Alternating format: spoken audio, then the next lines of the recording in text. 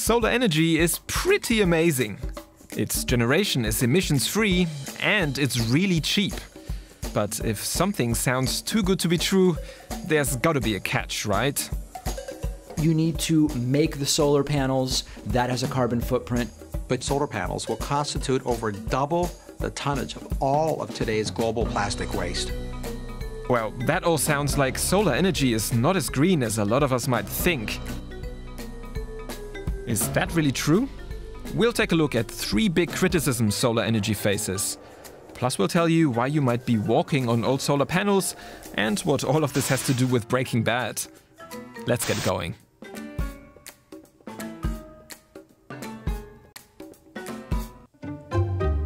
First, let's take a look at solar energy's impact on the climate. Solar panels produce electricity without creating emissions, which sounds pretty awesome, but it's also not the whole story. Producing them in particular uses lots of energy. Raw materials have to be mined, transported, processed, then the whole thing has to be assembled. And as our economy is still largely run on fossil fuel, all this means greenhouse gas emissions. But the question is, how much? And how much is that compared to other sources of energy? Well, to answer that, there's a thing called life cycle assessment. This is Garvin Heath, who's been studying this for many years, so we'll just let him explain how it works. In the context of electricity generation, the service that's being provided is the generation of a kilowatt hour. The role of life cycle assessment is to do as comprehensive and complete and an accounting of, for instance, the greenhouse gas emissions that are emitted that are attributable to that kilowatt hour. The results are this. On average, solar energy emits around 40 grams of CO2 equivalent per kilowatt hour it produces, which is really, really low compared to fossil fuels like natural gas at 500 grams or coal at 1000. But then again, sun power does emit a little bit more CO2 than wind power, what do we make of that? It shouldn't really be a choice on, at this point of life cycle greenhouse gas emissions between different renewables. They all provide significant benefit when displacing conventional. What's more is that solar energy has been becoming more and more efficient, which could further push down life cycle emissions. In future, there might even be completely new solar technologies like perovskite modules. These promise to use less energy in production and to convert even more sunlight into electricity. And then there's a kind of snowball effect. The more solar gets deployed, the cleaner it will become to produce even more. So, yes, strictly speaking, solar energy isn't completely emissions free, but it is already one of the climate friendliest energy sources we have.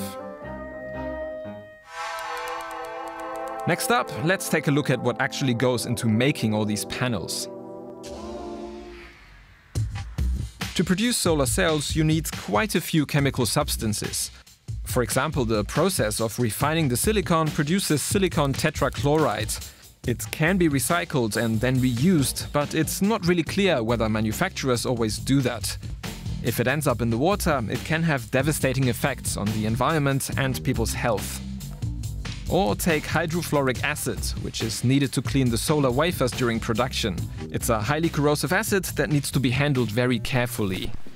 By the way, it's the same stuff that Walt and Jesse use in Breaking Bad to dissolve their enemies, but that's just a side note here. We have a lot of hazardous chemicals of concern that are in, used in, um, to make solar panels. This is Sheila Davis of the Silicon Valley Toxics Coalition. She developed the Solar Scorecard that ranks manufacturers by their sustainability.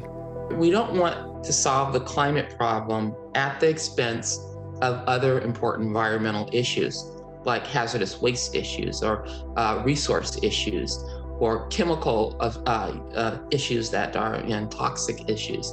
And that's uh, pretty much uh, the problem with solar. So it is green, but it's only green in one phase. We want to make sure it's green throughout its life cycle.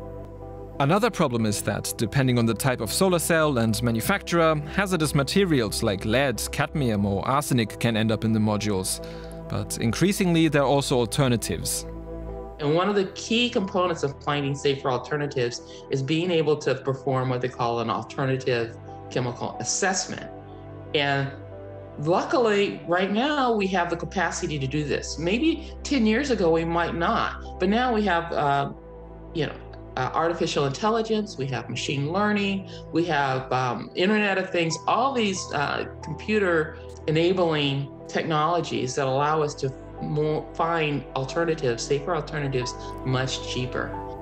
So, yes, the chemicals needed to make solar cells are problematic. There really needs to be pressure on the industry to come up with alternatives and make the switch once they find them. And finally, let's take a look at where all these panels go to die. Solar panels last around 30 years, often even longer. But at some point they reach the end of their life. As of now, the waste heap of discarded panels is still relatively low, about 250,000 metric tons. But by 2050 it's expected to grow up to 78 million metric tons. That would be more than 200 Empire State Buildings of old solar panels. Well, you know, now it's a, we can see that it's going to be a problem, but of course, in, in next 10 years or 15 years is going to be a major crisis. Where old panels would pile onto the mountains of e-waste we are already struggling to deal with. The good news is that solar panels are recyclable, and it's already being done, mainly in the EU. Governments here made it compulsory for manufacturers to make sure their used panels get recycled. Facilities like this one already recover a good chunk of the materials, but there's also some bad news.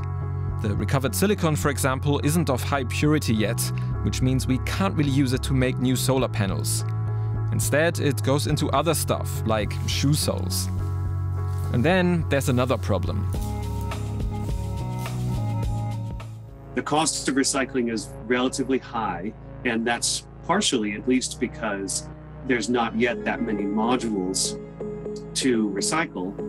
This means in places without legislation, like the USA or China, it's still cheaper to throw old modules into landfills, including all the valuable materials they're made with. Recycling needs to become profitable, or we might have a real problem on our hands. There would be many, many, many solar panels that are landfilled. I cannot imagine that. Yun Luo is the CEO of ROSI Solar, a French startup that's come up with a new recycling process. It focuses on recovering the most valuable materials at high purity. Actually, the economic return of the glass is not that high. So uh, we try to integrate also how much value that has to be recycled. So silicon and silver uh, together, it's about 3% of the total weight only. It has 70, even more than 70% of the, uh, of the economic value. With their recycling method, the company says these materials could be recovered at a profit and then go back into making more solar panels. They're currently working on opening their first plant at the end of 2022. In principle, if we can really establish a circular economy, we will not need to uh, to, to, to redo or re-manufacture uh, all these uh, raw materials. So the good news is that solar panels can be recycled. The bad news is that lots of them aren't yet. So, what does all this mean? Well, yes, solar power is not entirely green, but that definitely doesn't mean we should turn our backs on it. Its benefits are way too great for that. Instead, we should openly address its problems and figure out how we can fix them. Now, we'd like to hear your thoughts on this. How should we deal with the not so green sides of green technologies?